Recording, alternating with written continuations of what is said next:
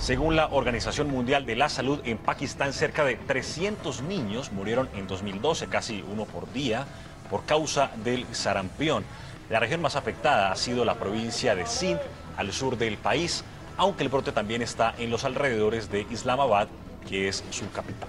La alta tasa de mortalidad infantil por esta enfermedad se debe a que los menores no alcanzan a ser vacunados contra el sarampión por las pocas vacunas que hay en esa zona.